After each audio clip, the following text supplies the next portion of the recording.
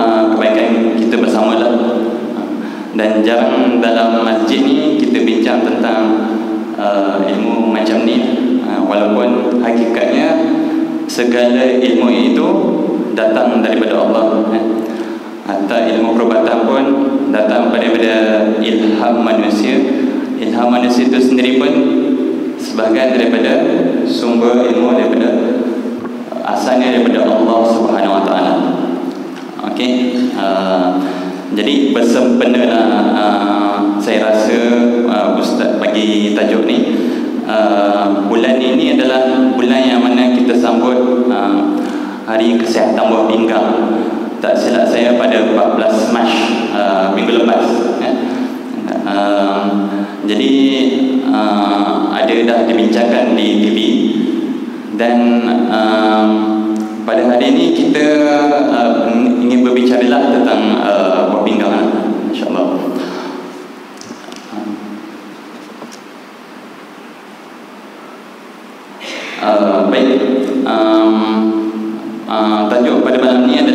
tentang fungsi dan pemeliharaan buah pinggang. Bagaimana kita hendak menjaga uh, buah pinggang kita daripada mengalami kerosakan ya? uh, tapi sebelum tu marilah kita kenal dahulu buah pinggang tu apa sebenarnya ya? Okey, uh, kalau kita tengok pada gambar rajah di hadapan uh, tuan-tuan dan puan-puan ya, uh, sebenarnya uh, buah pinggang ni atau dalam bahasa lain boleh panggil uh, ginjal ginjal uh, dia orang yang sangat penting lah. uh, dan dia penting untuk kita kekalkan uh, untuk dia mengekalkan cecair uh, dalam keadaan seimbang dan garam dalam keadaan seimbang dalam tubuh badan kita. Dan saiz dia sebenarnya sangat kecil. Uh, kita boleh katakan macam sepenumbuk tangan ni eh? uh, dan jadi lebih kurang uh, 150 gram. Dan 0.5% daripada berat badan manusia. Sangat kecil tapi kalau kalau sudah rosak dan nah, tak dia rosak maka sangat uh, kosnya sangat tinggi ya, untuk kita ganti buat dialisis. Apatah lagi kalau buat pembedahan ya. uh, uh, tahu tak tuan-tuan dan puan-puan uh, untuk sekali satu sesi dialisis eh, uh, harga dia kalau di swasta lah dalam 150 ke 250 ringgit sekali satu sesi satu sesi 4 jam.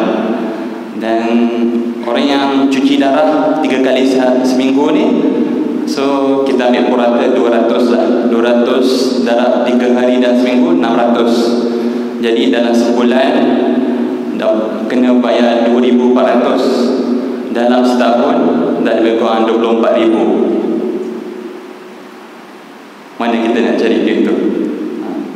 jadi betapa besar yang nikmat yang Allah beri ha, berat ginjal ni hanyalah 0.5% tapi peranan dia sangat penting ha. kalau tidak ada benda ni maka akan rosak tubuh badan kita jadi dia ada dua dan sepasang ha, ha, ginjal ni dan terletak di bawah uh, tulang rusuk sebelah belakang eh?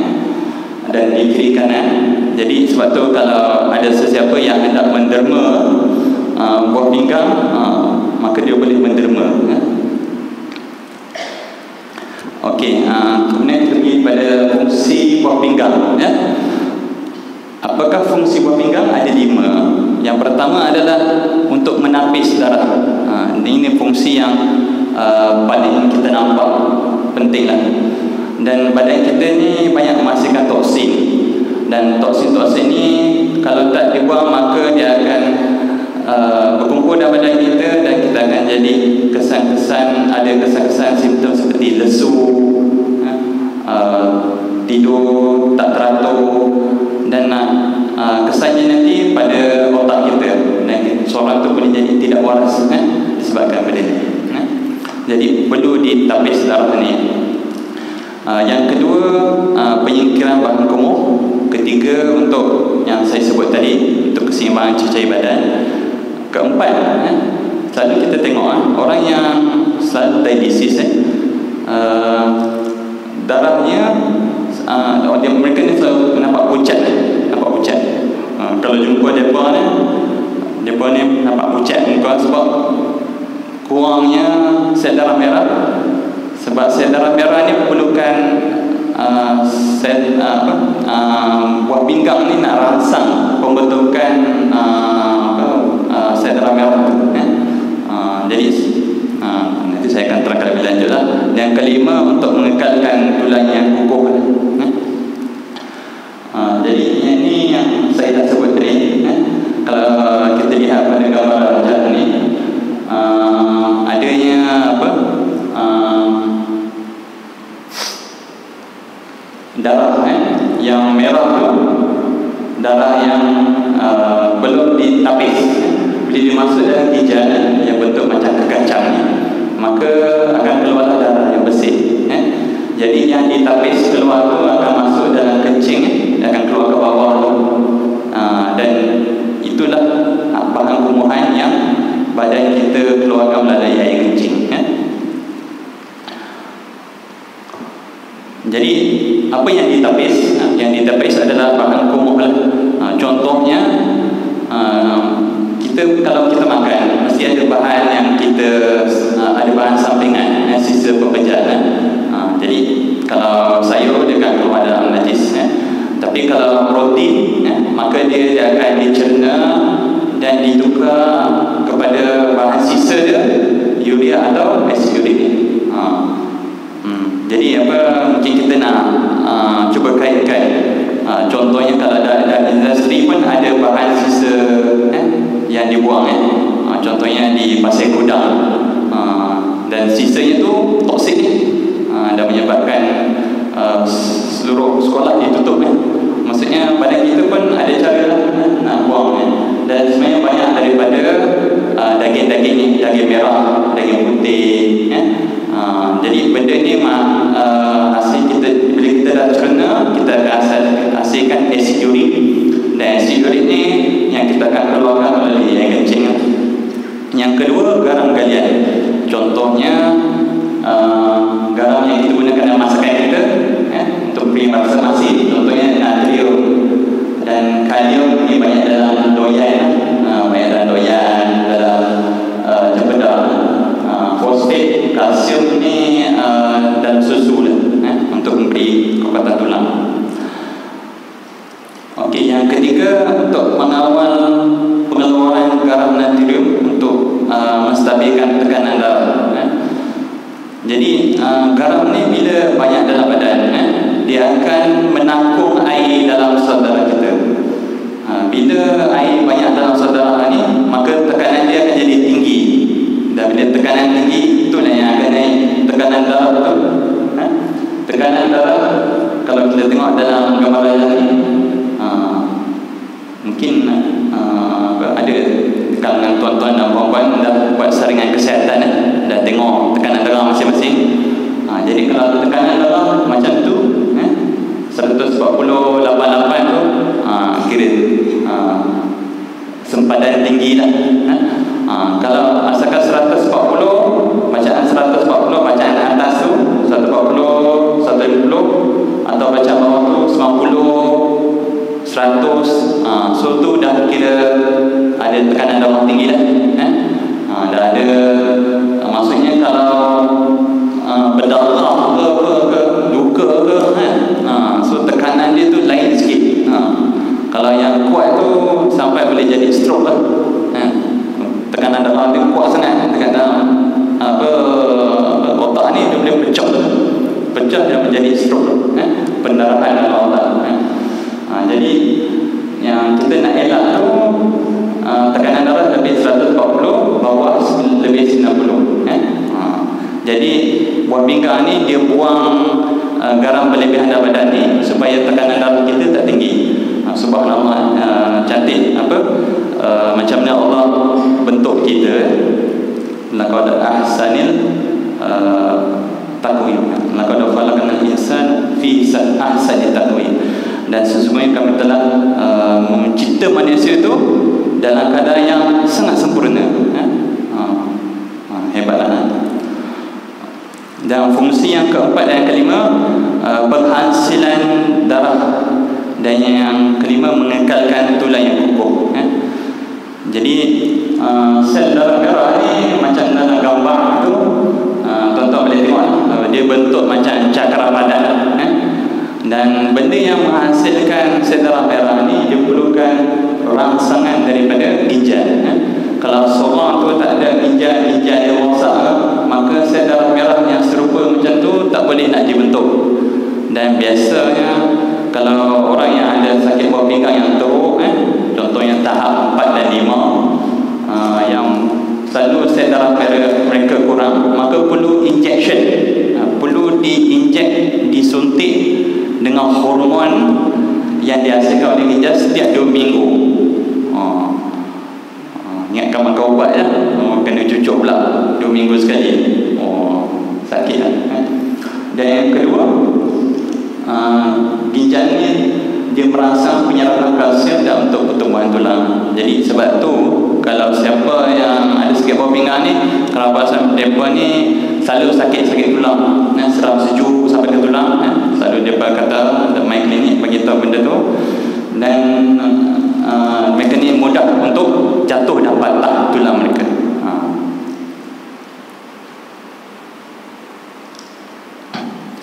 Okey, uh, tuan-tuan dan puan uh, kita sebelum kita pergi pada bagaimana kita nak memelihara buah pinggang, kita mestilah tahu apa yang menyebabkan buah pinggang tu gagal eh? dan menyebabkan jadi rosak. Barulah kita tahu macam mana kita nak elak daripada dia menjadi rosak. Kan? Jadi yang pertama punca kegagalan ni boleh dibagikan kepada tiga. Yang pertama adalah penyakit. Eh? Yang kedua uh, pemakanan, yang ketiga ubat-ubatan. Eh? Yang penyakit yang paling utama yang kita nak habaq pada malam ni uh, adalah penyakit uh, diabetes. Itu kencing manis. Eh? Uh, 70% 7 daripada 10 orang yang membuat dialisis eh? di mana-mana pusat rawatan dialisis 7 daripada 10 eh? daripada mereka yang buat niat merupakan pengilat kencing manis eh?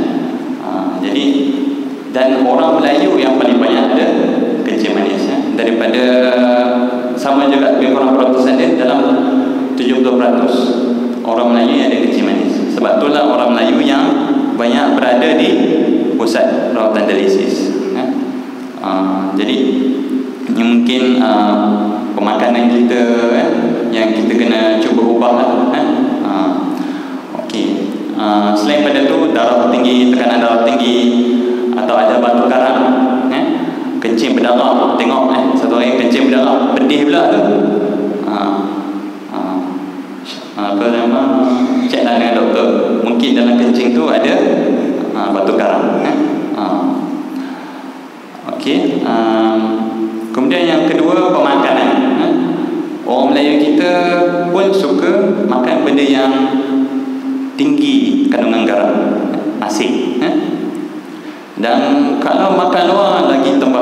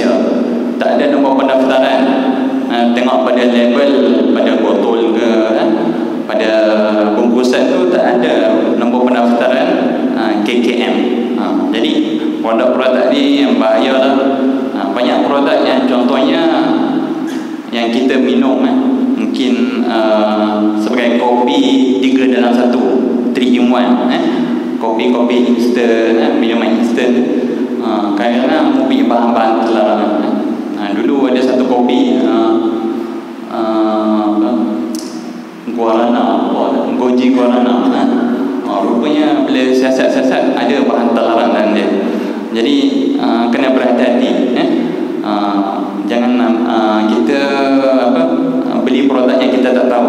Diktiraf ke tak.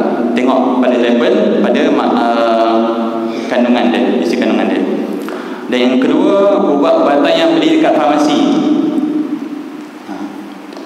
Selain Panadol Yang lain tu Boleh mendatangkan kesan pada buah pinggang. Jadi uh, Kalau sakit sangat lah. eh, Boleh makan Panadol. Kalau dia ada masalah hati Dan dia ada Allergic pada Panadol eh. uh, Panadol ni ada banyak brand lah. Euphamol dan sebagainya.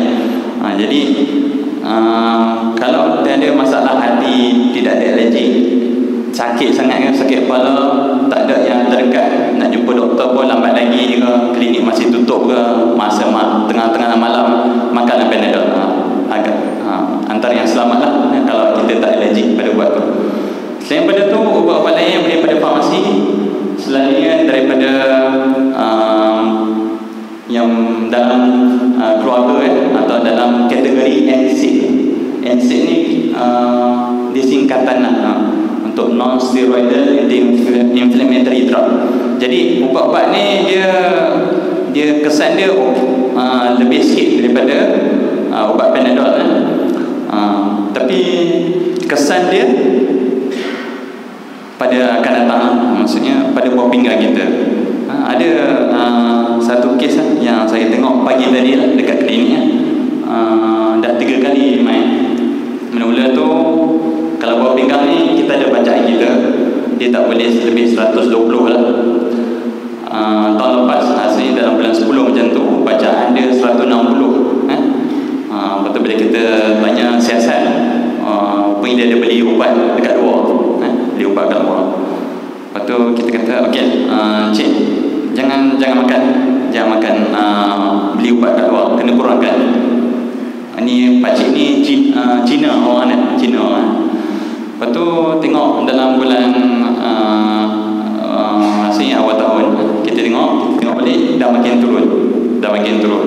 Uh, Jadi 140 lebih yang tu Baru ni saya tengok pada pagi tadi uh, Tengok dah turun jadi 136 uh. Lepas tu bila tanya dia uh, Beli lagi tak ubat kalau tak, tak beli dah uh, Dia kata tak beli dah Lepas dia kata eh, kurang-kurang uh. Ada beli juga yang kurang jadi kena tu berhati-hati ya. Uh, kegagalan buah pinggang rosak ni dia bukan pada masa sehari eh. Ada juga yang sehari ya. Tapi dia biasanya dia kena serangan bulan ni beli ni. Uh, fungsi dia turun sikit. Uh, kemudian bulan depan beli lagi. Uh, kurang lagi. Lepas tu ada sakit belakang lah. Eh. Uh, macam-macam sakit eh. Sakit kepala. Beli lagi ubat kat farmasi luar uh, makin-makin teruk eh? jadi dia bukannya dalam sehari terus jadi tak okey sebab tu penting kena cek lah eh? kena cek dengan doktor-doktor paling kurang setahun sekali kalau ada masalah kesihatan cek ambil darah setahun sekali eh? setahun sekali Okey, ya, jadi tadi saya dah uh, beritahu tadi uh, yang saya tekankan penyakit itu uh, kecil manis lah dengan tekanan darah tinggi yang kedua daya yang tinggi garam ha, saya lupa sebut dan tinggi protein ha. ada ha, orang muda kita lah ha. Ha, dia nak kurus dia tak ada makan nasi ya. Ha, dia cuma makan ha, daging. Daging je. Daging ada sayur sikit lepas tu lemak.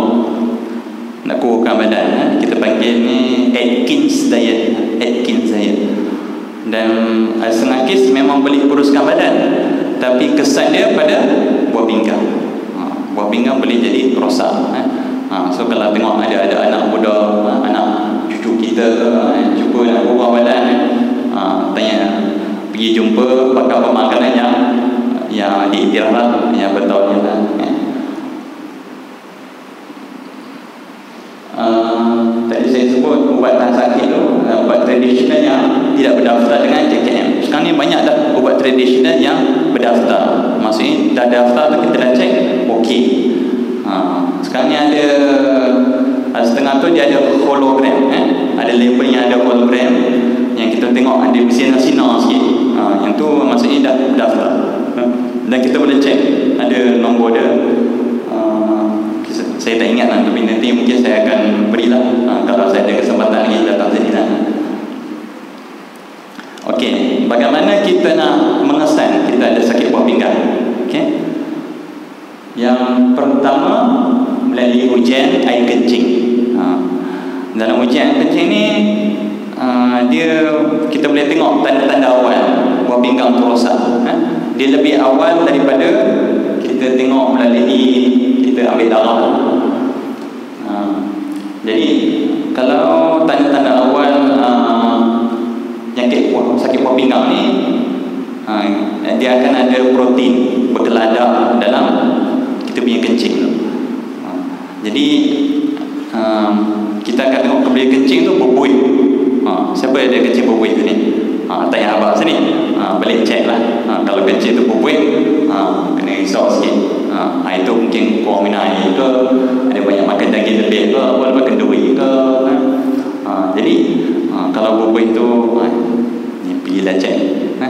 Pergi cek Okey, yang kedua, yang kedua Ujian darah fungsi buah pinggang Ada setengah kes Contoh dalam kencing manis Yang mula-mula Kita dapat tahu tanda awal Buah pinggang tu nak rosak Melalui kencing dulu ha, Bila tengok uh, ujian darah tu ada masalah biasanya untuk ke, siapa yang ada kencing manis ni uh, kalau kita tengok dan darah dia tu dah tak okey maksudnya buah pinggan tu dah teruk sangat dah sampai dia nampak dalam uh, ujian darah dah terlambat lah uh, maksud dah ada kesan sikit uh, jadi uh, sebab tu uh, saya lagi buat dua-dua lah ujian kencing dan ujian fungsi buah pinggang uh.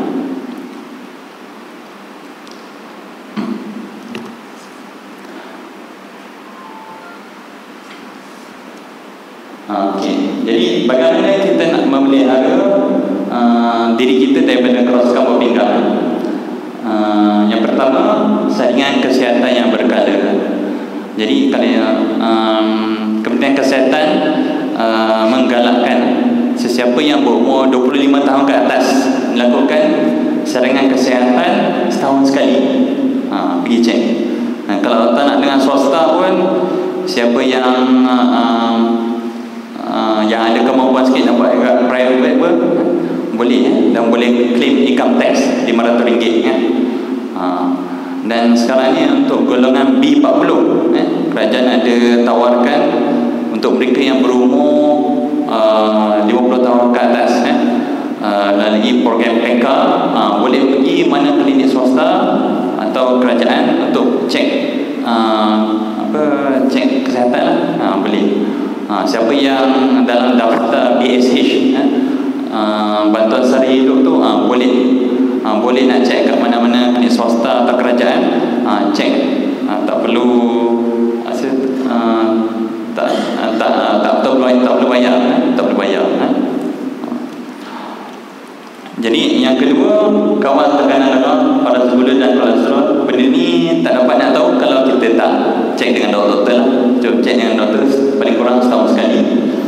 Yang ketiga elak ambil ubat-ubatan tanpa arahan doktor. Eh? Ha, contoh contohnya nak ambil suplemen ha, ni saya kata ha, jumpa produk ni nak melangsingkan badan ha, saya kata. Ha, bawa jumpa doktor ha, boleh pakai ke ni? Ha, kalau tak sure macam nak check ya. ha, nombor daftar tu ha, bawa jumpa doktor ha, boleh check kalau kata okey okey tapi mesti kena check juga lepas tu. Jadi um, berhati-hati lah eh, ambil mana-mana ubatan lah. especially ubat tahan sakit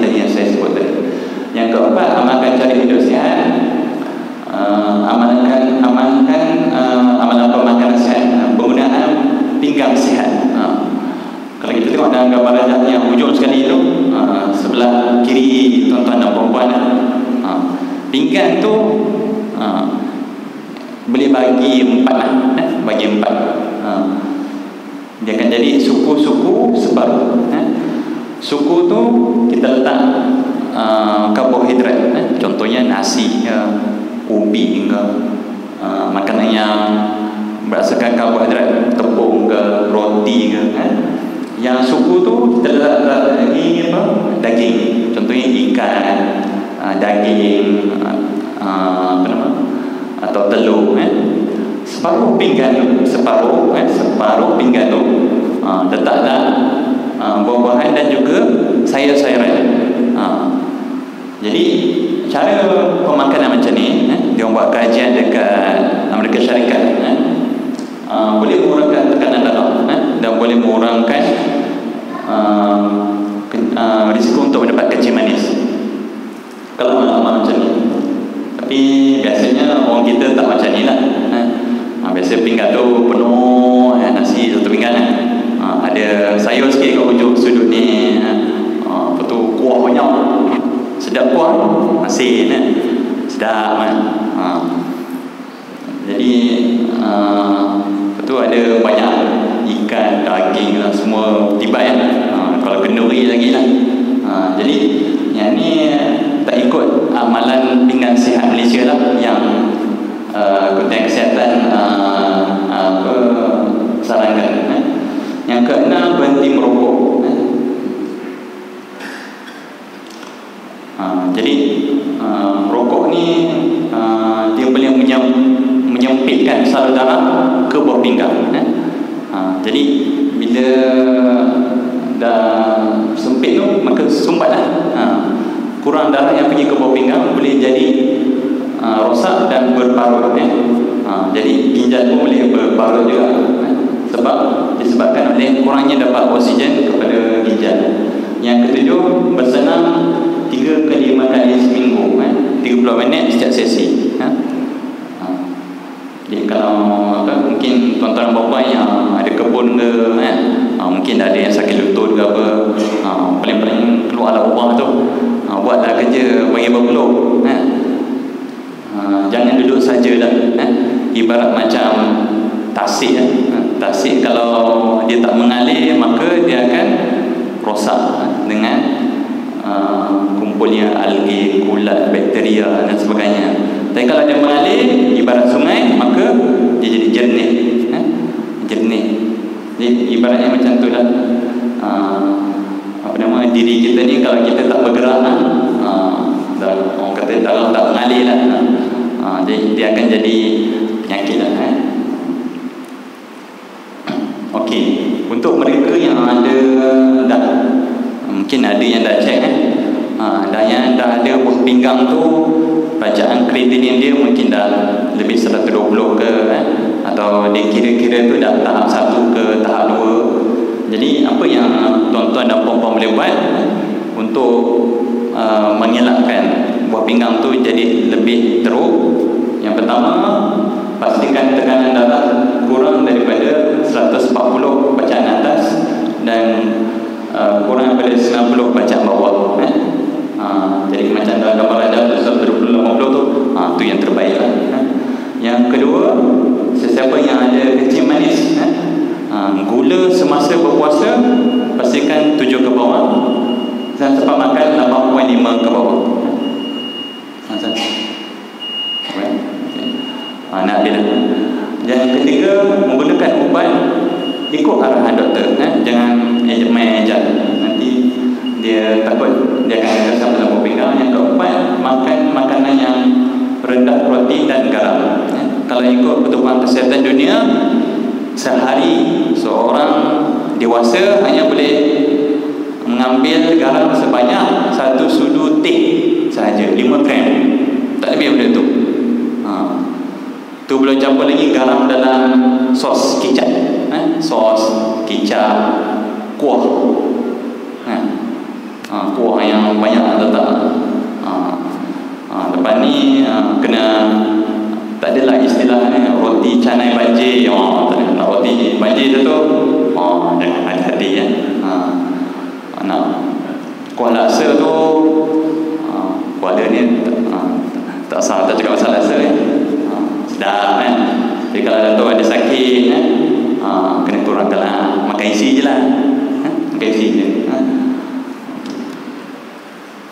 Okey, jadi rawatan untuk mereka yang dah tahap lima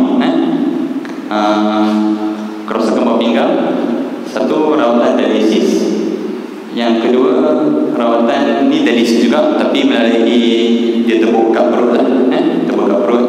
Tapi yang ni kena buat hari-hari lima kali sehari. Ha, empat kali lima kali sehari. Yang ketiga bedah pindah bawah pinggang. Ha, dapatlah daripada dema pada sesiapa ke ahli keluarga ke eh, kembar ke eh, ha, boleh okeylah ni sekadar renungan lah eh. ha, dua gambar yang berbeza ha, satu sebelah kiri satu sebelah kanan ha, tuan-tuan dan perempuan ha, nak yang macam mana ha, kita insyaAllah setiap daripada kita akan menemui ajal ha, ha, tapi kita nak meninggal tu dalam keadaan sihat ke ha, hidup yang berkualiti ke atau maksudnya kita kena serahkan diri kita ke pusat rawatan dari situ tiga kali seminggu ke ha, kalau macam ni mungkin kita banyak lebih masa eh, untuk kita berdedikasi mungkin bersama dengan keluarga eh, untuk menghabiskan masa kualiti kita secara uh, masa sisa bagi hidup kita secara kualiti lah boleh pergi pengajian ke masjid macam hari ni uh, boleh duduk kat pondok Ustaz Jamal macam mana ni uh, uh, jadi uh, kita renung dan kita tengok kan uh, uh, jadi sekadar renungan lah. uh, Allah berfirman dalam surah An-Nahl ayat 18 Bismillahirrahmanirrahim wa in ta'uddu ni'matallah la tuhsuha innallaha laghafurur rahim dan jika kamu menghitung nikmat Allah uh, tidak kamu dapat menghitungnya satu persatu. Uh, pasti tak dapat dihitung satu persatu. Dengan ginjal pun senggekam je uh, betapa banyak nikmat Allah dan sesungguhnya Allah Maha Pengampun lagi Maha mengasihani hamba-hambanya. Okay? Uh, kesimpulannya uh, saya nak sampaikan yang kekencang manis merupakan penyebab utama lah kerosakan buah pinggang 70%. Uh, apa yang tuan-tuan dan puan boleh buat untuk elak buah pinggang rosak lakukan pemeriksaan kesihatan berkala paling kurang setahun sekali amalkan gaya hidup sehat elakkan ambil apa-apa ubatan dan suplemen tanpa arahan doktor. Yang kelima yang terakhir mencegah lebih baik daripada merawat. Uh, jadi uh, itu sajalah ceramah uh, saya tentang fungsi dan buah pinggang. Semoga ada manfaat lah, untuk semua lah, insyaAllah. Saya serahkan pada Tuan Pengurusi Alhamdulillah terima kasih ucapkan kepada Tuan Farouk yang sanggup berkongsi dengan kita uh, makluman yang sangat penting demi kita menunaikan hak dan juga nikmat yang telah Allah Taala kurniakan kepada kita.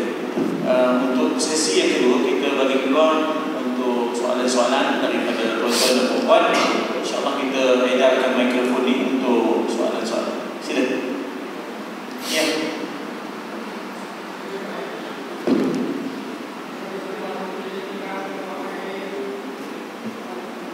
Malam-malam bergerak main Malam tentang kaki tiga empat kaki Adakah dia Buat pinggang tidak baik Atau apa Yang kedua Macam mana yang dikatakan amalan gaya hidup sihat dan amalkan makanan yang betul. Terima kasih. Silakan. Okey, uh, soalan pertama tu uh, kalau ada simptom apa bangun malam tu tiga empat kali eh, buang yang kecil eh. Betul. Uh, jadi uh, boleh jadi uh, pelbagai sebab lah. Jadi yang sebab yang paling uh, kerap lah uh, satu uh, kencing manis lah. Bila kencing banyak lah. Uh, bila gula ada dalam kencing tu maka dia akan terkumpul air kencing banyak dalam kuning kencing tu kita rasa nak buang kencing selalu eh? Dan lagi satu kalau umur 40-50 tahun ke atas ni saya fikir untuk lelaki lah uh, contohnya. Uh, prostate lah. Uh, sebenarnya antara dua tu lah yang biasa saya kerap jumpa lah dekat klinik uh, jadi boleh cek lah uh, yang kedua tu Uh, bagaimana amalan uh, gaya hidup sihat tu. Uh, jadi ada ruang skop yang luas lah. Uh, jadi uh, elakkan merokok kurangkan makanan yang uh, masin uh, elakkan makanan yang uh, berprotein tinggi kurangkan daging eh? kurangkan daging elakkan ambil ubat-ubatan tanpa arahan atau tanpa ilmu eh? uh, lepas tu Makan malam. ha? Makan di waktu malam. Makan di waktu malam. Ha. Okey, uh, makan di waktu malam ni uh, kalau kita jumpa pakar pemakanan lah. Uh, dinasihatkan makan malam ni sebelum maghrib. Ha. Sebelum maghrib. Ha. Pukul 8 tu dah tutup kan dapur. Ha, gelap dah. Ha, kalau ada orang main tu ha, tangkap dia. Ha, maksudnya dah tak boleh dah. Eh? Kalau jumpa pakar dietetik atau pakar pemakanan, kata last sekali makan uh, sebelum maghrib atau untuk orang Islam lah. Kalau orang bukan Islam tu tujuh setengah lah. Eh? Sebab malam ni kita nak tidur lah. Kita tak pakai lah benda yang kita makan tu. Ha, kalau kita makan uh, apa dekat pukul 9 10 eh? benda tu tak ada cena gula kumpul dalam badan eh? kalau siang lain cerita kita makan tu kita buat kerja ke ha, kita nyangkut ke kebun ke kan ha, keluar peluh tu ha, banding dengan kalau makan malam ha, dia tak, tak berapa sihat Masih pada soalan yang kedua sini. Assalamualaikum warahmatullahi wabarakatuh. Waalaikumsalam warahmatullahi muslimat. Jadi saya tertarik, saya ada dua soalan. Saya tertarik dengan buang air kecil. Jadi buang air kecil ni kalau malam, beza dengan siang. Saya dah tanya pandangan doktor, kekerapan bagi kami yang warga masjid dari waktu siang ni sekurang-kurangnya berapa jam sekali. Yang patut kita kena buangkan air ataupun kumuhan air kecil. Itu yang pertama. Kekerapan. Maksud saya adakah dua jam ke dua setengah ke tiga jam yang keduanya apakah hubung kait penyakit kau dengan buah pinggang? Kadang-kadang saya dipahamkan kalau ada siapa yang kena penyakit kau dari reaksi kelebihan dia menyebabkan ada kes- berkesan dengan buah pinggang jadi saya nak tahu saya tak tahu sebut pasal kau tadi ramai bila kita ni buah kemas termasuk saya lah ada simptom-simptomnya. Apa namanya kau sikap makan kan pukul lagi kita merah atau sakit. Jadi saya nak kalau boleh Dato' terang lebih lanjut sikit lah. Campur sikit. Ada masa doang ni dengan penyakit kau dan kaitnya dengan penyakit buah pinggang itu saya tutup terima kasih. Uh, soalan pertama tu tentang uh, berapa kekerapan frekuensi sepatutnya buang yang kecil. Uh, jadi secara normalnya uh, dua uh, ke empat jam tu adalah biasalah. Uh, uh, jadi tak ada apa uh, panduan yang khusus lah. Uh, kalau rasa nak buang yang kecil buang je lah. Uh, tapi buang yang kecil eh. uh, tak ada tak ada ni lah. Sebab setiap orang berbeza kan Ha, setiap orang mungkin ada yang buat kerja eh, yang buat kerja berat eh.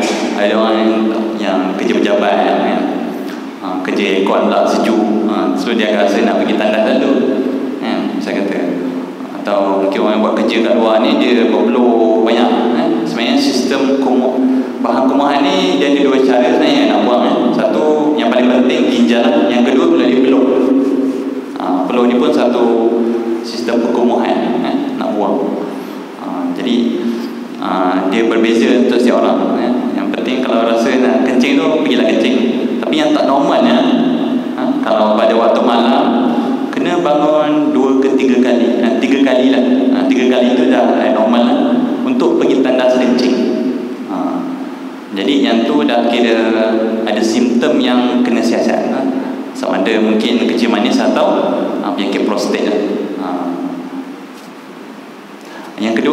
Soalan kedua tadi uh, tentang uh, uric acid dengan gout uh, apa kaitannya dengan sakit buah pinggang uh, uric acid um, dia bila berkumpul dia akan membentuk kristal ha? kristal nah kristal ni bentuk dia tajam ha? kalau dia berkumpul dekat buku lali ke uh, dia akan jadi sakit pedih sangat sakit ha? tapi dia boleh juga berkumpul bergumpal uh, kristal tu menjadi batu karang batu karang di salur kencing tadi uh, bila ada benda yang menghalang apa laluan air kencing tu dia sumbat lah. ha, sumbat uh, buah pinggang tu tak boleh nak keluarkan air kencing dia makin berbengkak bengkak bengkak ha, tu yang akan jadi sakitnya buah pinggang eh? ha, so sebab tu lah kalau ada sakit gout eh, atau uric acid tinggi uh, maka kena uh, kena ada pemeriksaan untuk cek buah pinggang selalu ha. Menjawab soalan Tuan Haji Assalamualaikum warahmatullahi wabarakatuh. Waalaikumsalam. Jadi saya nak bertanya sedikit mengenai proses proses uh, derma buah pinggang. Uh, yang pertama ni, adakah kita seandainya kita dapat apa, buah pinggang tu, adakah buah pinggang tu uh, daripada orang Muslim ataupun non Muslim? Yang kedua macam mana pula kalau kita seandainya kita nak tahu bahawa buah pinggang itu buah pinggang daripada Muslim. Oh, okey. Ha, yang yang pertama tadi, ialah sama ada kita boleh dapat buah pinggang daripada Muslim. Hmm. Adakah itu mesti? Mesti kalau macam kita nak Muslim, kita akan terima buah pinggang daripada orang Muslim. Ha, itu salah saya. Ah, okey. Uh,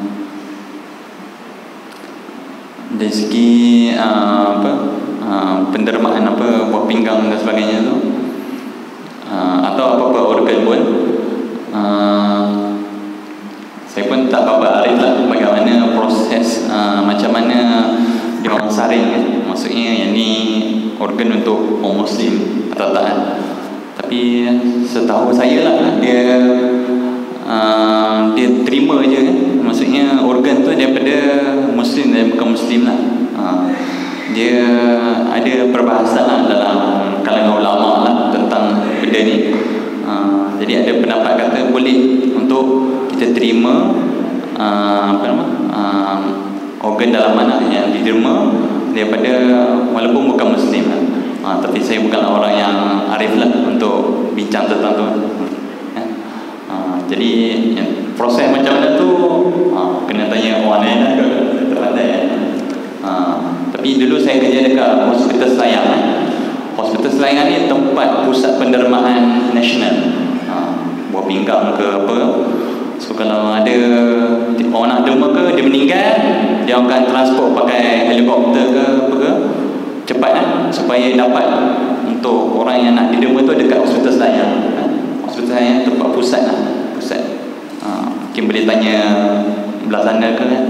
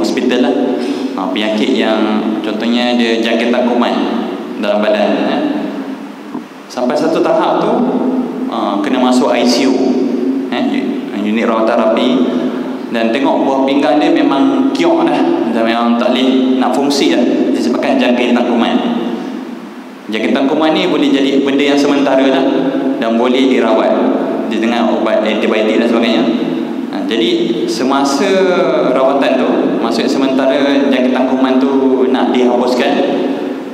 Uh, bahan kumahan ni kumpul dalam badan nak kena buang juga. Tapi buah pinggang dah rosak eh. rosak sementara lah kita kata. Disebabkan jangkitan kuman ni. Maka perlu dibuat rawatan dialisis. Maka pada waktu tu akan dibuat rawatan dialisis. Bergantung keadaan pakar buah pinggang akan tengok? Uh, perlu ke tiga kali seminggu? Macam orang yang sakit buah kronik sakit buah pinggang kronik ke? Uh, jadi dia akan tengok keadaan. Uh, jadi sampai satu masa kalau jangkitan kuman tu dah okey mungkin tak perlu dah Ha, jadi itu mungkin satu, satu kes yang mana kita tengok rawatan dialisis tu hanya pada waktu tu saja sebagai rawatan kecemasan. Ha, ada. Ha? Kasih kita bagi 10 minit lagi untuk muslimat kaum ibu kalau ada soalan. Sebelum kita minta kaum ibu, saya sendiri satu soalan iaitu ada kalanya kalau doktor ada dialisis dengan air dia bukan cara biasa. Dia kata cuci tiap hari tapi pakai air dan di rumah macam mana proses ha. Banyak kita bagi orang buat Okey, uh, jadi untuk soalan Ustaz uh, uh, Tadi saya tunjuk kan ada tiga rawatan. Uh, Untuk kita rawat uh, apa, Nak ganti fungsi buat pinggang tu Tapis darah kan. Yang pertama cuci darah uh, Yang kedua masuk air tu Yang Ha, tapi kena bawa rumah lah. Tengok kursi pun kursi rumah. Ha, maksud rawatan ni memang kat rumah. Ha, dia yang dipanggil rawatan CAPD. Ha, um, continuous Ambulatory Peritoneal Dialysis. Yang ni kena buat uh, lima, uh, lima ke enam kali sehari. Ha, maksudnya orang ni memang duduk rumah lah. Dan dia ada motivasi yang tinggi nak buat benda ni. Ha, baru boleh. Ha, dan dia pandai nak gantung air tu sendiri eh. benda tu dah tepuk dah dekat perut dia dia masuk air uh, dalam sela berapa tak ingat berapa minit ke apa nanti dia akan keluarkan uh, dia akan keluarkan masuk air tu dah dah diproses eh. lepas tu dah keluar dan diambil baluan dan boleh keluar eh. yang ni ni ada dua cara lah satu yang lima ke enam kali sehari tu uh, waktu siang dan mungkin malam sikit. Tapi ada juga yang macam ni dia waktu, waktu malam je. Maksudnya dia nak tidur dia letak ni.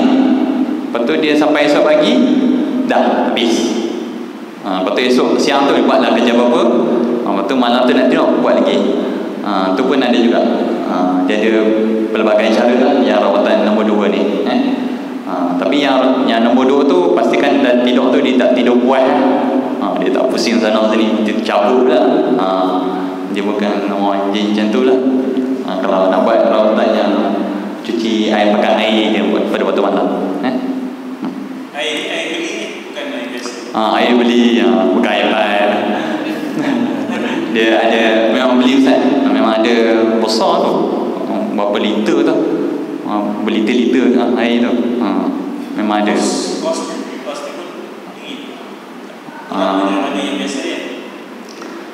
kosnya uh, itulah anak tak ada sangat. Pasal tu. Uh, uh, hmm?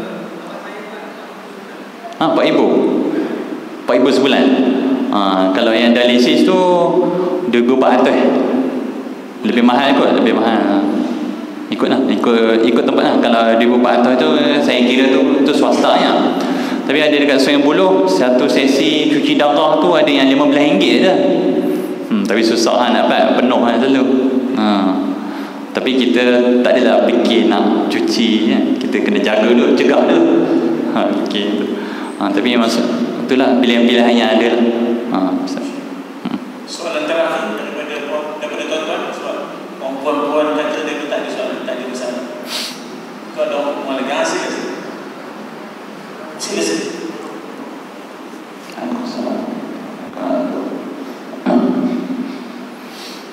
Ah, saya nak tanya sini tentang sakit pinggang dengan sakit buah pinggang. Apa kaitannya? Adakah sakit buah pinggang itu bermula daripada sakit pinggang? Ah. Atau tak ada pencerahan? Ustaz, ah, Okey. Ha, soalan yang sangat baik. Ha. Bila kita cek darah dekat klinik kata, ah, puan ni puan ada sikit bau pinggang sikit. Tu makcik tu kata, oh patutlah ada sakit belakang. Ah, tapi dia tak sama. Eh, tak semestinya sama. Kadang-kadang dia boleh jadi sama kan. Jadi uh, sakit buah pinggang ni macam saya sebut tadi dia kesan melalui dua lah uh, ujian kencing atau dengan ujian darah uh, jadi ada setengah sakit buah pinggang eh? macam saya sebut tadi uh, di bawah kategori penyakit tu jangkitan kuman yang kerap pada saluran besaran kencing jadi pada saluran kencing ni daripada uh, hujung apa salur kencing itu tu sampailah ke ginjal eh. Kalau ginjal ni kena jaga kuman dia akan sakit. Ha, dia akan sakit. Ha, kalau kita tepuk belakang dia, dia akan ha, dia akan rasa sakit.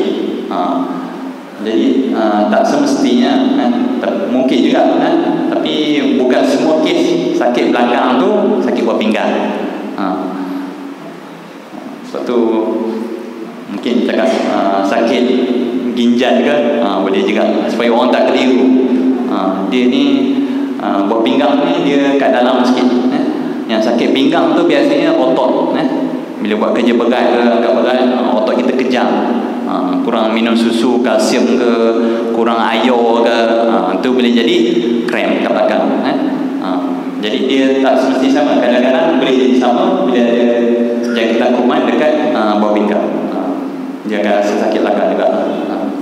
Tahu faktor usia Kalau jadi pinggang Kalau faktor usia misalnya Bukannya usia Uh, kalau faktor usia lebih uh, 65 tahun ke atas kan, uh, maka uh, golongan ni berisiko untuk uh, dapat sakit buah pinggang. Uh, jadi uh, sebab tu Kementerian Kesihatan sarankan umur 25 tahun ke atas cek lah darah setahun sekali ya. Uh, kalau umur 65 tu uh, kalau daripada kecil tak pernah main klinik kan, oh, lagi lah kena kena cek tu. Uh, sebab dia berisiko untuk dapat sakit buah pinggang eh? kalau ada ha, suruh cek